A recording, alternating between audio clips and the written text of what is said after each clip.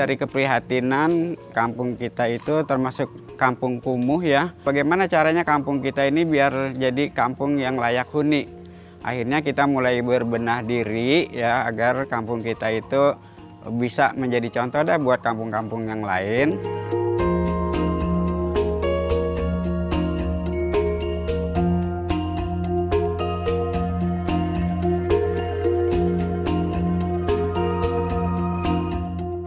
Kita terus menanam pohon-pohon biar bagaimana caranya supaya uh, tempat kita itu asri.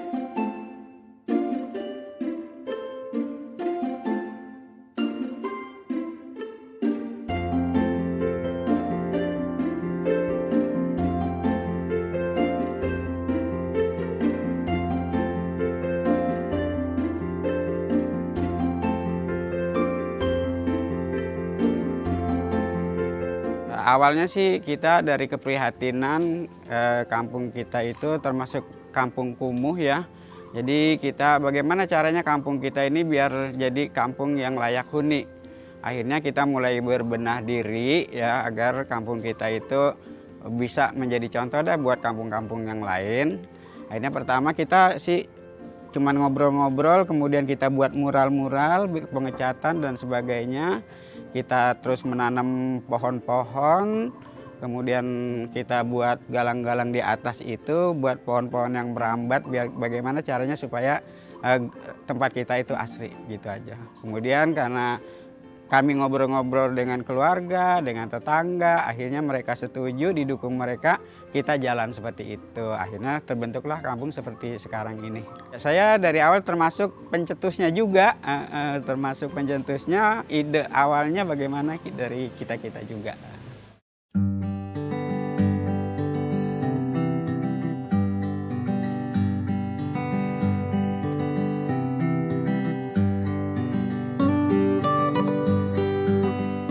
Akan menyemai beberapa bibit tanaman pada hari ini. Uh, sebelumnya saya siapkan dulu ini media tanamnya. Media tanam itu adalah oplosan antara sekam mentah, sekam bakar, dan serutan kayu. Kemudian dikasih juga media tanam yang kita beli udah jadi. Kemudian kita aduk, disimpan beberapa hari. Setelah mereka udah dingin, udah layak untuk dipakai, baru kita pakai.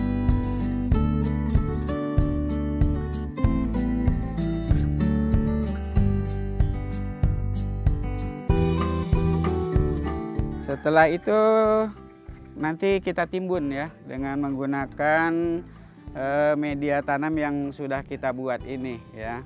Supaya kalau disiram ini juga bisa menahan air ya supaya semaian kita tidak cepat kering ya. Jadi kita cukup menyiram pagi dengan sore saja kalau tidak hujan. Kalau hujan sih kita nyiram paling sehari sekali. Ya, seperti ini caranya.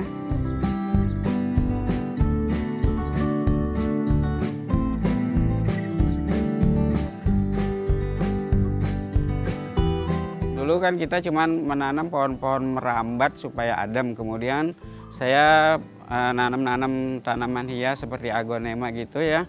Kemudian saya juga menyediakan lahan walaupun sempit itu untuk tanaman sayur-sayuran yang bisa dikonsumsi oleh warga.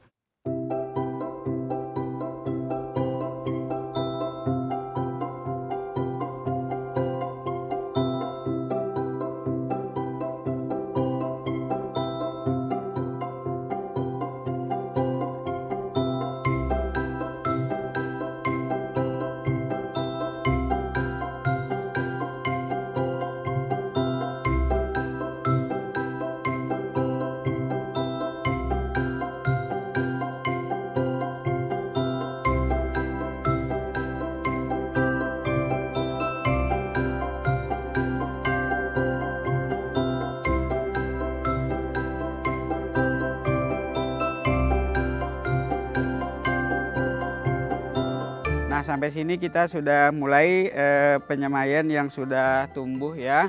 Ini tanaman sudah berumur 10 hari ya. Ini tanaman kangkung, yang ini tanaman kenikir. Biasanya ini ibu-ibu dibuat lalap ya, dibuat lalapan. Kemudian yang di sana ada pohon bayam ya, pohon bayam. Eh, di sini juga ada pohon bayam Nah, di sini ada pohon kangkung dan bayam yang sudah siap kita panen hari ini. Nah, jadi saya mengajak marilah ya walaupun kita punya lahan sempit ya, mari kita perdayakan lahan kita supaya lebih bermanfaat ya.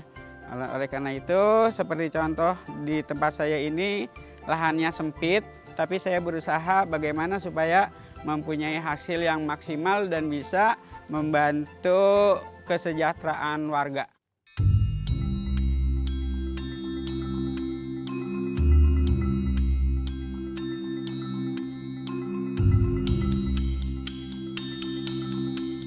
Kita karena pandemi ini sangat membutuhkan sayuran yang seperti itu, kita coba menanam yang cepat bisa dipanen seperti kangkung, ada bayam, ada pohon-pohon kenikir yang bisa dipakai untuk lalap dan sebagainya itu yang kita pakai.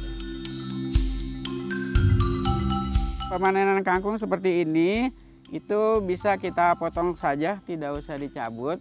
Kenapa tujuannya? Agar eh, tempat yang kita potong itu bonggolnya nanti akan tumbuh kangkung yang baru dan itu hasilnya bisa kita panen lagi. Jadi bisa dua kali paling sedikit bisa tiga kali bisa juga empat kali ya. Jadi nanti kalau udah tumbuh udah panjang seperti ini kita panen lagi. Nanti dia tumbuh tunas baru lagi kita panen lagi tumbuh tunas baru lagi dan begitu seterusnya ya. Jadi hari ini kita panen kangkung ya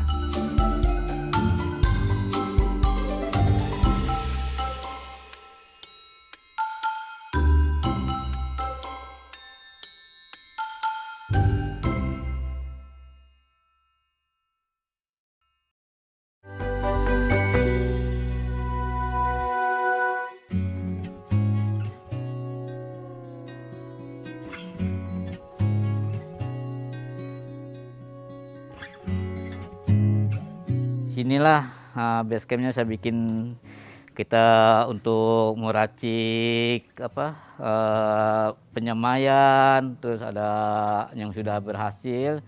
Emang dulu fokus saya itu di bunga ya uh, di bunga uh, fokusnya di bunga. Sekarang saya selama covid saya berubah alih jadi saya tanaman segala pohon sayur-sayuran ada bumbu sayur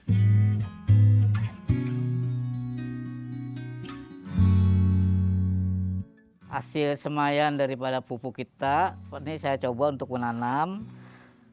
Tanam bumbu dapur yang sudah tidak terpakai sudah terlalu lama disimpan karena tidak digunakan. Nah ini sampai sudah bertumbuh tunas seperti ini. Dari kepada kita buang kan sayang ya. Kita buang sayang lebih baik kita manfaatkan kita tanam seperti ini. Tanam. Ya tanam. Ini diurut nah habis gini nanti diturun pakai tanah ini tanah putih eh tanah kebun yang saya bilang tadi. Nah tanah kebun kita urut tipis-tipis. Ini untuk apa? Untuk mengikat daripada uh, kompos yang ada di bawahnya. Jangan mudah uh, pecah atau ada retak gitu retak-retak. Nanti kita tanam ini nanti kalau tanah ini nanti uh, apa? Menyatu di dalam uh, pupuk yang ada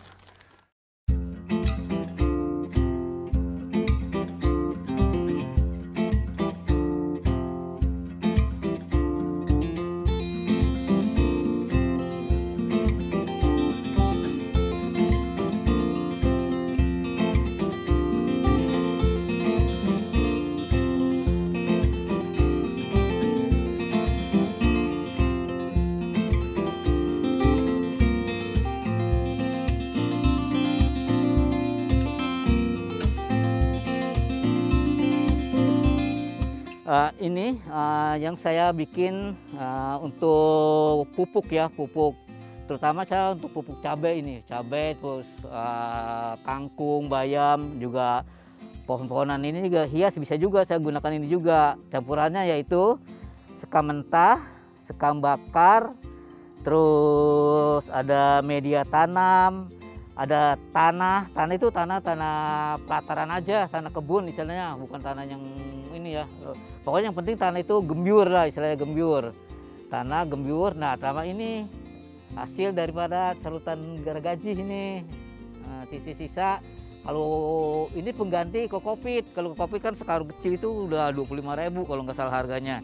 Kalau ini saya ini malah dikasih sama orang, nggak usah beli, nggak usah beli udah ambil aja berapa butuhnya gitu. Jadi tuh dari lima macam tanah ini, lima tanam bahan ini saya jadikan satu. Di sini kenapa? Tidak saya langsung saya oplos. Ini saya semai dulu supaya nanti adem ke apa e, kalau langsung dioplos langsung dibuat nanam itu nggak bagus hasilnya kadang-kadang pohonnya pada ke, e, kebus atau apa daunnya kalau ini nanti kalau udah begini kira-kira 12 atau sampai 15 hari itu saya udah bisa nanti untuk taruh ke pindah ke pot atau polybag nah itu langsung ditanam buat nanam istilahnya itu udah udah bagus. Ini juga kalau gini suka sering-sering disiram. Paling nggak sehari siap sore malam saya harus siram. Apa tujuannya berfaya ini jangan terlalu kering gitu ya kalau tanah si tanah-tanah ini kan tuh banyak tanah ini nih nih hasilnya apa paruan gergaji tadi itu nanti dia lembut jadinya lembut. Jadi jadi cepat menyatu sini. Begitu kita tuang ke tanah kita oplos sudah langsung bagus hasilnya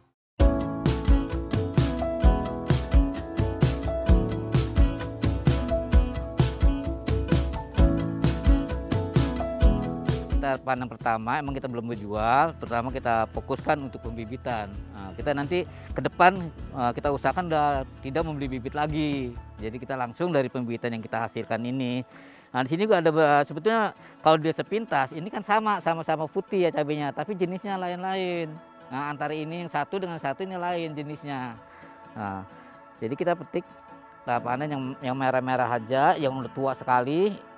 Ini sebetulnya udah untuk tanam tanam lagi untuk bibit itu udah bagus sekali nih.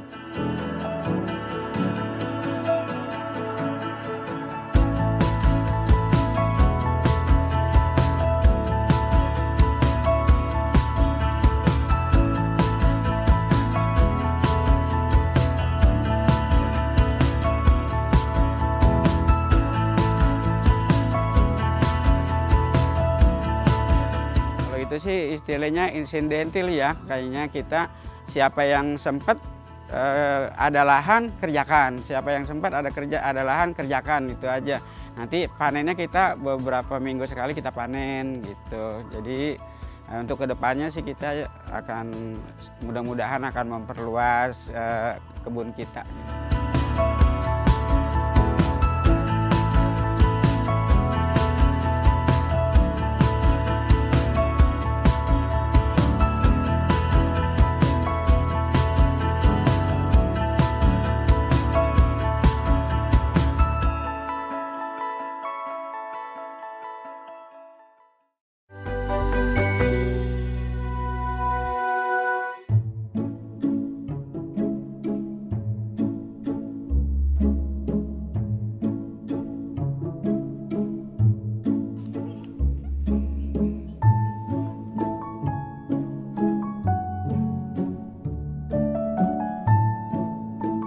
Akan menyemai bahan-bahan yang saya akan gunakan. Ini bahan-bahan tak terpakai seperti e, tempat telur, terus e,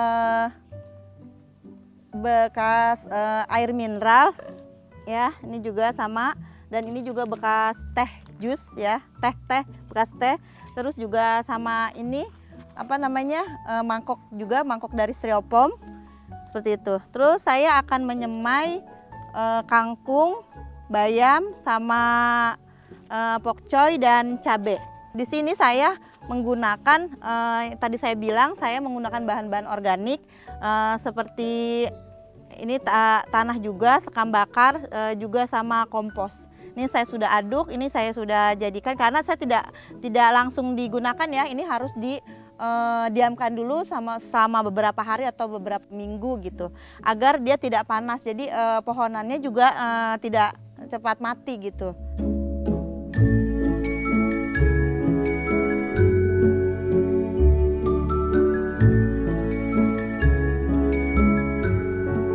awalnya kita menanam bersama, eh, setelah itu kita tak mengerti, uh, jadi kita nanam sendiri gitu. Kebetulan kan uh, kita uh, apa uh, mengajar itu daring ya karena pandemi, uh, sehingga kita ada banyak waktu untuk menanam sendiri gitu.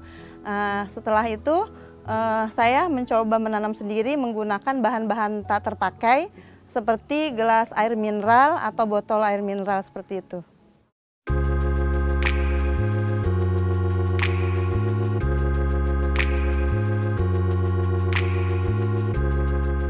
bahan-bahan daur ulang itu uh, apa uh, sangat bermanfaat juga yang pertama ya bahan-bahan terpakai itu juga kan bisa menyebabkan uh, apa lapisan ozon juga menipis ya karena menumpuknya sampah-sampah dan sebagainya seperti itu gitu alasan saya seperti itu memanfaatkan bahan-bahan tak terpakai karena kan penampungan sampah juga uh, sudah sangat penuh sekali bagaimana caranya kita memanfaatkan bahan-bahan tak terpakai seperti itu.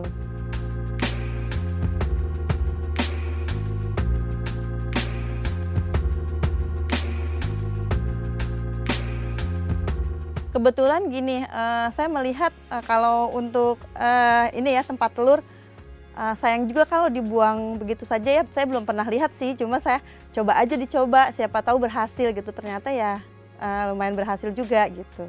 Walaupun mungkin hasilnya tidak terlalu bagus seperti uh, yang lain gitu, bahan-bahan lain. Dari air beras uh, dan sisa-sisa bahan makanan seperti itu. Tapi tidak bisa langsung digunakan. Ini digunakannya e, boleh sekitar dua minggu fermentasi atau eh, tiga bulanan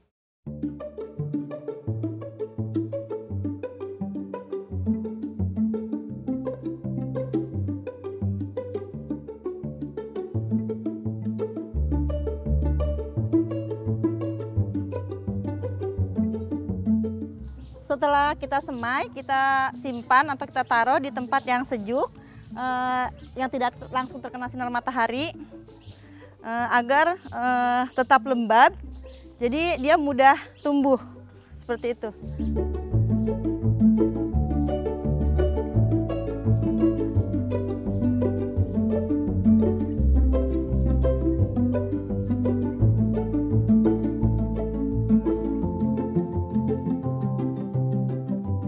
Nah, ini hasil semayan yang di dari telur ya, seperti ini.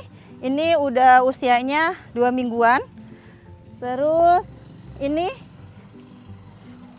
yang masih satu minggu, yang ini dua minggu uh, cabai, ini mentimun dua minggu, uh, dan pokcoy juga ini sama ini yang dua minggu ya. Kalau ini baru lima hari, yang ini baru lima hari.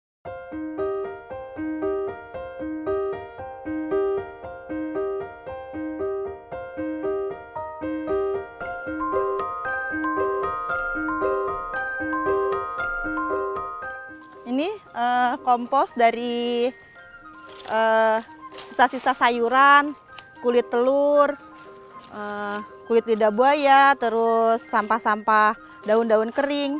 Semuanya kita masukin ke sini untuk dijadikan kompos kering. Ini belum jadi ya, yang sudah jadi sudah kita pakai tadi untuk uh, penanaman.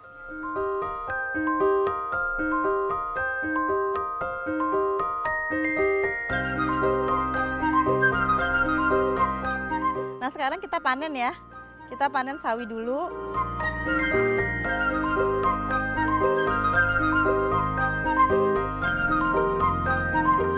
Kalau di halaman rumah ini saya menanam kangkung, bayam, dan sawi. Cabai gitu.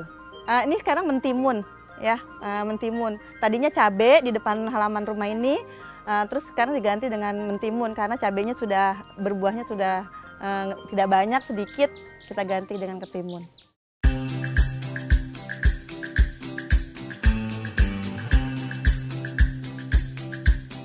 karena karena masa pandemi uh, secara otomatis pendapatan kita kan berkurang. Nah itu untuk uh, ketahanan pangan kita, keluarga saya sendiri gitu. Sangat cukup sekali. Bahkan bisa berbagi dengan orang lain gitu.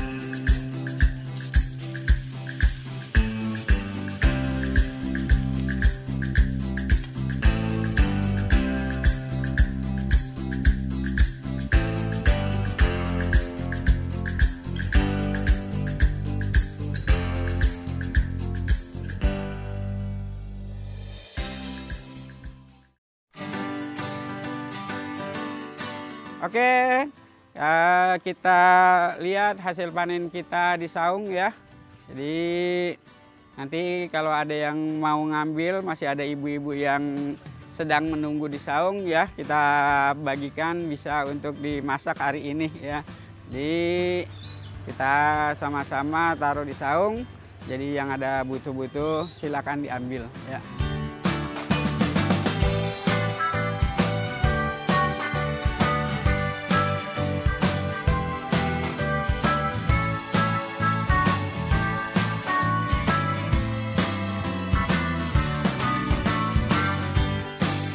Mari kita bangun kampung kita ya supaya kampung kita itu tampil beda dari kampung-kampung yang lain dan dari yang tidak dikenal oleh masyarakat sekarang sudah eh, dikenal oleh masyarakat luas. Kemudian saya juga berharap selain kampung Tidar eh, akan memperluas ke kampung-kampung lain dengan mereka kan banyak yang suka studi banding ke sini. Jadi kita bisa menularkan kampung-kampung yang sekarang belum membangun supaya mereka ikut membangun supaya eh, pemanasan global ini bisa kita kurangin gitu ya. Karena kan kalau nanti kampung jadi panas semua kan pemanasan global nanti eh, suhu bumi akan naik kan itu aja.